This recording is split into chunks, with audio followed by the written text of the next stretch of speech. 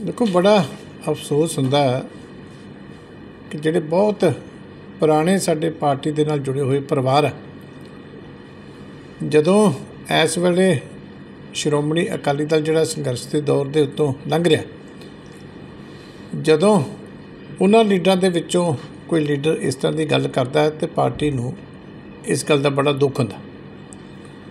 ਸੋ ਕੱਲ ਵੀ ਜਦੋਂ ਡਿੰਪੀ ਢਿੱਲੋਂ ਹੋਰਾਂ ਦੀ ਸਟੇਟਮੈਂਟ ਆਈ ਸੀ ਔਰ ਜੋ ਉਹਨਾਂ ਨੇ ਜ਼ਿਕਰ ਕੀਤਾ ਸੀ ਕਿ ਮੇਰੀ ਜਗ੍ਹਾ ਤੇ ਸਰਦਾਰ ਮਨਪ੍ਰੀਤ ਸਿੰਘ ਬਾਦਲ ਨੂੰ ਲਿਆਂਦਾ ਜਾ ਰਿਹਾ, ਤੇ ਉਹਨਾਂ ਦਾ ਤੌਖਲਾ ਦੂਰ ਕਰਨ ਵਾਸਤੇ ਅਸੀਂ ਉਸੇ ਵੇਲੇ ਪ੍ਰਧਾਨ ਸਾਹਿਬ ਨਾਲ ਰਾਏ ਕਰਕੇ ਤੇ ਸਾਰੀ ਸਥਿਤੀ ਜਨਤਕ ਤੌਰ ਤੇ ਸਪਸ਼ਟ ਕਰ ਦਿੱਤੀ ਸੀ ਕਿ ਸ਼੍ਰੋਮਣੀ ਅਕਾਲੀ ਦਲ ਦਾ ਕਿਸੇ ਵੀ ਤਰ੍ਹਾਂ ਦਾ ਕਿਸੇ ਨੂੰ ਸ਼ਾਮਲ ਕਰਾਉਣ ਦਾ ਪਾਰਟੀ ਦੇ ਵਿੱਚ ਬਤੌਰ ਕੈਂਡੀਡੇਟ ਕੋਈ ਪ੍ਰੋਗਰਾਮ ਔਰ ਨਾ ਇਸ ਤਰ੍ਹਾਂ ਦੀ ਕੋਈ ਡਿਵੈਲਪਮੈਂਟ ਹੋਈ ਹੈ। ਇਸ ਕਰਕੇ ਅਸੀਂ ਪਬਲਿਕਲੀ ਅਪੀਲ ਕੀਤੀ ਸੀ ਡਿਪਟੀ ਢਿੱਲੋਂ ਸਾਹਿਬ ਨੂੰ ਕਿ ਤੁਹਾਨੂੰ ਇਸ ਤਰ੍ਹਾਂ ਦੀ ਗੁੰਮਰਾਹਕੁੰਨ ਬਿਆਨਬਾਜ਼ੀ ਤੋਂ ਜਿਹੜਾ ਉਹ ਉਹਦੇ ਪਿੱਛੇ ਨਹੀਂ ਲੱਗਣਾ ਚਾਹੀਦਾ। ਪਾਰਟੀ ਦੀਆਂ ਬੜੀਆਂ ਵੱਡੀਆਂ ਜ਼ਿੰਮੇਵਾਰੀਆਂ। ਕਿਉਂਕਿ ਦੋ ਵਾਰੀ ਪਹਿਲਾਂ ਵੀ ਉਹ ਪਾਰਟੀ ਦੀ ਟਿਕਟ ਤੋਂ ਇਲੈਕਸ਼ਨ ਲੜਿਆ। ਤੇ ਪਾਰਟੀ ਦਾ ਹਰ ਵਰਕਰ, ਹਰ ਆਗੂ ਉਮੀਦ ਕਰਦਾ ਕਿ ਇਹੋ ਜਿਹੇ ਮੌਕੇ ਤੇ ਸਾਰੇ ਲੀਡਰ ਜਿਹੜੇ ਆ, ਉਹ ਚਟਾਨ ਵਾਂਗੂ ਪਾਰਟੀ ਦੇ ਨਾਲ ਖੜਨ। ਕਿਉਂਕਿ ਪ੍ਰਧਾਨ ਸਾਹਿਬ ਤਾਂ ਖੁਦ ਜੋ ਪ੍ਰੋਗਰਾਮ ਡਿੰਪੀ ਢਿੱਲੋਂ ਹੋਰਾਂ ਵੱਲੋਂ ਉਲੀਕਿਆ ਜਾਂਦਾ ਤੇ ਦਿਨ ਦੇ 10-10 15-15 ਪ੍ਰੋਗਰਾਮ ਗਿੱਦੜਬਾਜ ਦੇ ਪਿੰਡਾਂ ਦੇ ਵਿੱਚ ਉਹਨਾਂ ਵਾਸਤੇ ਕਰ ਰਹੇ ਇਸ ਲਈ ਅਸੀਂ ਆਪਣੀ ਸਥਿਤੀ ਕੱਲ ਬਿਲਕੁਲ ਸਪਸ਼ਟ ਕਰ ਦਿੱਤੀ ਸੀ। ਔਰ ਅੱਜ ਵੀ ਪ੍ਰਧਾਨ ਸਾਹਿਬ ਨੂੰ ਜਦੋਂ ਗਿੱਦੜਬਾਜ ਦੇ ਵੱਡੀ ਗਿਣਤੀ ਦੇ ਵਿੱਚ ਆਗੂ ਤੇ ਵਰਕਰ ਮਿਲਣ ਵਾਸਤੇ ਗਏ ਸੀ, ਉੱਥੇ ਉਹਨਾਂ ਨੂੰ ਵੀ ਉਹਨਾਂ ਨੇ ਬੜਾ ਸਪਸ਼ਟ ਕਿਹਾ ਵੀ ਇਹ ਗਲਤਫਹਿਮੀ ਹੈ।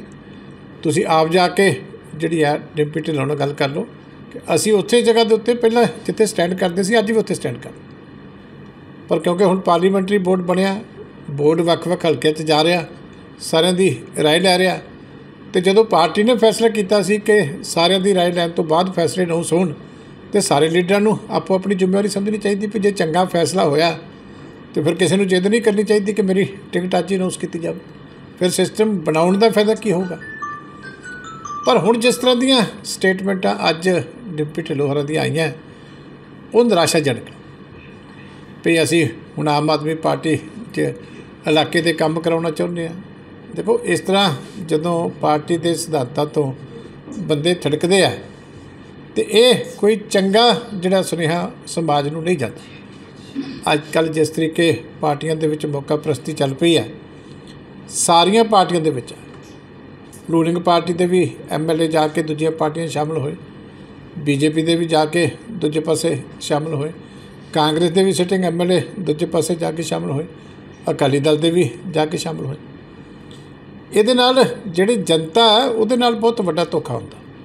ਕਿ ਜਨਤਾ ਕਿੱਥੇ ਜਾਵੇ? ਲੋਕੀ ਤੁਹਾਡੇ ਨਾਲ ਖੜਦੇ ਆ, ਤੁਹਾਨੂੰ ਵੋਟਾਂ ਪਾਉਂਦੇ ਆ। ਤੁਹਾਡੇ ਲਈ ਹਰ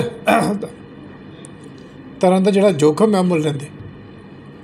ਪਰ ਜੇ ਤੁਸੀਂ ਆਪ ਆਪਣੇ ਅਸੂਲਾਂ ਤੇ ਨਹੀਂ ਖੜਦੇ ਤੇ ਇਹ ਮੈਂ ਸਮਝਦਾ ਮਾੜੀ ਗੱਲ ਹੈ। ਇਸ ਕਰਕੇ ਸਾਰਿਆਂ ਨੂੰ ਸੋਚਣਾ ਚਾਹੀਦਾ ਕਿ ਜੇ ਇਸ ਤਰ੍ਹਾਂ ਦੀ ਰਾਜਨੀਤੀ ਜਿਹੜੀ ਚੱਲੇਗੀ, ਤੇ ਇਹ ਲੋਕਾਂ ਦਾ ਕੀ ਸਵਾਰ ਸਕੇ